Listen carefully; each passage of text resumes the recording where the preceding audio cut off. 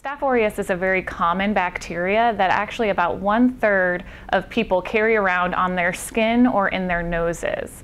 What MRSA is, is a certain subtype of that bacteria that has developed a resistance to the most common antibiotics we use to treat um, the staph infections. The bacteria itself continues to evolve and become more resistant. So every time we find a good antibiotic that works against it, the bacteria gets smarter and starts to develop resistance against that antibiotic as well. It can be spread through direct contact of a wound. So if you have a wound that is infected with um, Staph aureus and you touch that wound, it can be spread in that way. Um, the same way if someone is in the public who has a wound that's infected with Staph aureus, they touch that wound and then they touch, you know, a chair or a doorknob or anything along those lines. It can be spread in that manner as well. Um, for those who are carriers of the bacteria, they have it on their skin and in their nose at all times. They can also spread it um, to other people. Symptoms of a staph infection or an MRSA infection um, are typically in the skin and soft tissue. It can start with what looks like a spider bite, um, but unless you actually see the spider bite you, you'd never want to assume that's what's going on with your skin. Um, so it can be a, an area that looks like a, a, a, bug bite or a wound that is formed there, and then it will get more red and more swollen. It's often painful to the touch and um, warm to the touch, and it may start draining pus or some other type of fluids. And you may have a fever as well with the skin infections.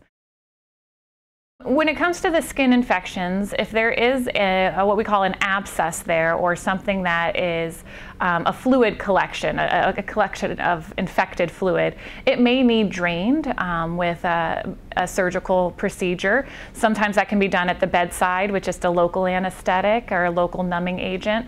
Um, and then sometimes it, if it's a large infection, um, you will have to go to the operating room to have it drained. Staph or MRSA can also cause pneumonias. Um, so symptoms of a pneumonia would be fever, cough, chest pain, shortness of breath. It can also cause bloodstream infections, which symptoms, which the symptoms of that are a little bit more vague. You often just feel tired, run down. Um, you may, and you'll have fevers and chills, um, but no specific symptoms to the bloodstream infections. Um, antibiotics are still our number one treatment of these infections. For pneumonias and the bloodstream infections, you may need to be hospitalized to have um, supportive care with oxygen or breathing treatments um, while, you're, while the antibiotics are starting to work. After you've been on the antibiotics for about 48 to 72 hours, you're going to feel significantly better. Um, we often see changes in the skin infections within 12 to 24 hours of starting the antibiotics.